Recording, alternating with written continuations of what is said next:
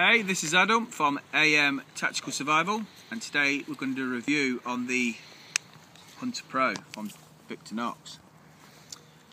Uh, this is an awesome knife. It's a 4 inch blade and 5 inch handle, so it's 9 inches altogether.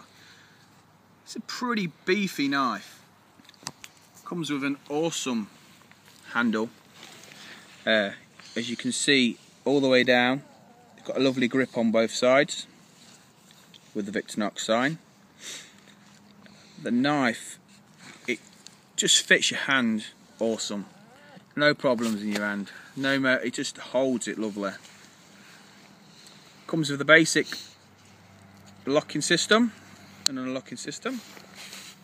Just push it in. What I like about this knife is it comes with this loop what makes it easy access to open this knife. It's fully Swiss made and it's on the market for 90 pounds off Victorinox or you sure you can get it for about 70 to 80 off Amazon if you just look at look for it. Um, comes with a lovely little case. It's got like a waterproof green material so the waters run straight off. Easy access.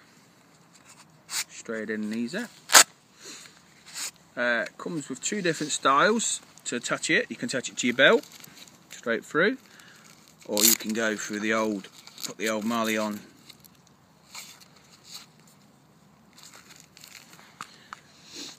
Um, this is Adam.